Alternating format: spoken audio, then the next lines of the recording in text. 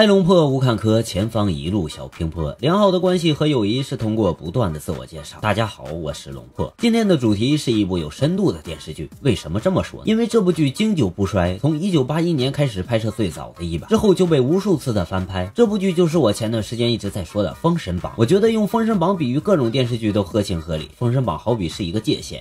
一般的武侠片，如果是接近或者是超越，都是一件可怕的事。近期又出现了一个《封神榜二》，所以话不多说，我们开喷吧！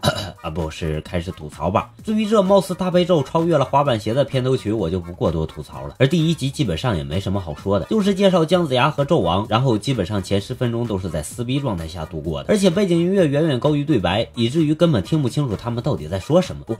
觉得这是本剧最好玩的部分，不仅可以开动脑筋想他们到底在说什么，还能感受到他们当时的心理状态，真是太有趣了。姜子牙和周武王他们打得不可开交，姜子牙一会儿被重创，果然不出我所料，就在这个时候，突然天神下凡，犹如吕布在世一样，把对面一顿狂炸。然后当他开启第三只眼的时候，我才知道这货原来就是杨戬。就在这个时候，姜子牙拿出一个卷轴，大喊无字天书，我靠！然后众人就消失了。我以为祭出这么牛逼的一件法宝是准备鱼死网破呢，没想到就这么消失了。没错。一眨眼的功夫，姜子牙一伙成功的使用了回城券，回到了城中。姜子牙大败之后变成了一头白发，嗯，这个就是他的妻子，貌似稍微有一点点黑。所以呢，之后的三集基本上都是在养病中度过。不过在养病期间发生了一些小小的插曲，嗯，比如纣王把黄将军的夫人给强奸了，确切的说应该是先奸后杀。然后得知了消息的黄将军不顾一切的为爱人杀入了宫殿之中，将军一人难敌周围美女的围攻，于是召唤出了自己的宝宝。然后其中一位美女大喊：“神鹰，我的克星！”嗯，没错，应该是这么喊。这语气就像读广告词一样，我们也用敷衍界。然后这就是土行孙的第一个出场镜头。哎你妈，这真是……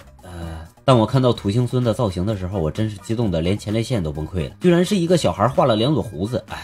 说什么好呢？说到前列腺，纣王强奸了黄将军的妻子，妲己很是生气，于是想要一脚踹碎纣王的蛋蛋。不过在纣王一番令人鸡皮疙瘩掉一地的语言攻势下，妲己还是妥协了。后来纣王派大部队攻打西岐，呃，虽说是大部队，但是我看怎么就那么十几个人？不过这个不重要，四城之中有一个人会一种法术，就是手里抓着一把黄豆扔在地上，就变出了一群士兵啊！没错，撒一把黄豆变出一群士兵，很精彩的魔术啊！但是这有什么用呢？总的来说，这就是一部又臭又长的长篇大作，所有的剧情都在循环，基本上就是打仗疗伤，打仗疗伤，然后某一方突然胜利了，哦耶，然后大结局，我操，坑爹呢！